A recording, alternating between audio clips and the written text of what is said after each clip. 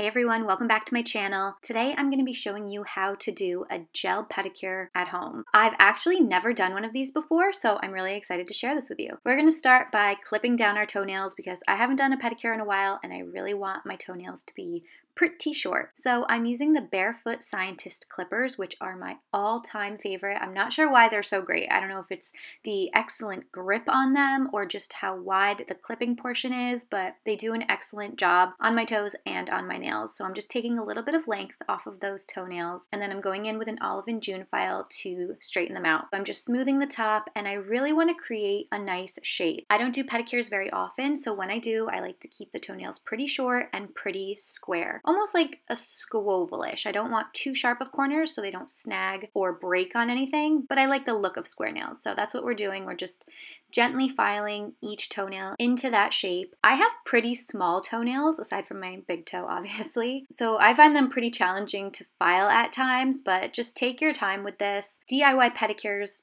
are not as frequently done as DIY manicures, so I really want to take my time when I'm doing this. I'm loving how this shape is coming out, and once I get it just right, I'm going to apply a little bit of my Sweet Almond Cuticle Oil to each toenail so we can start to prep the actual nail.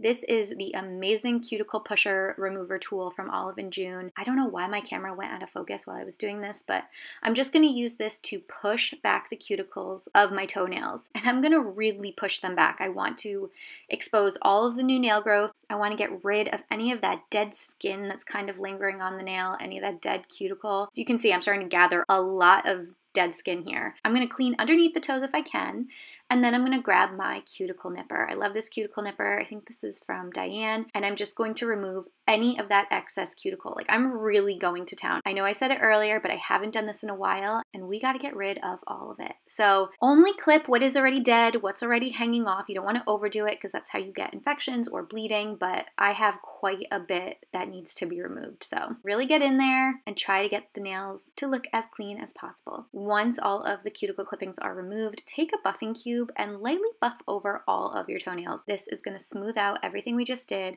and then I'm going to go rinse them off and come back and prep them for the polish.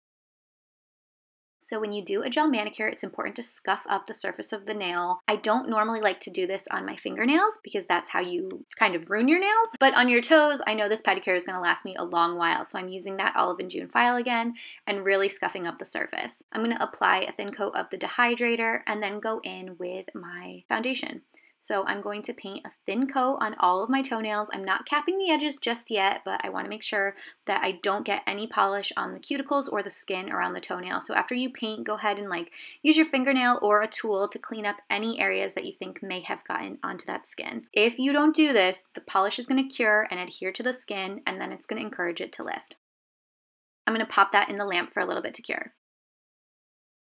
Once it's all cured, I'm pulling my toes out and I'm going to use Gelish's Wool You Love Me. This is a really beautiful like light brown neutral shade. I've actually never used it before, but I wanted to do something a little different than like a white or light pink, which is what I normally gravitate towards. So I figured I'd try it out today. Painting just a thin coat of this on all my toenails and again, going back to clean up if necessary before popping the toenails back into the lamp.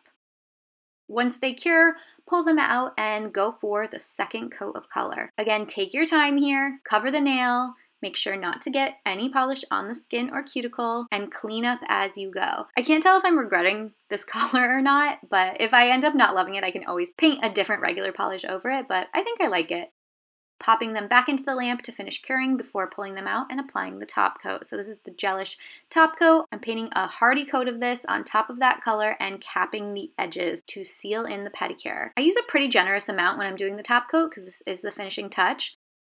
Go ahead, remove any polish that may have gotten onto the skin, pop it back into the lamp, and after they are cured, you are done.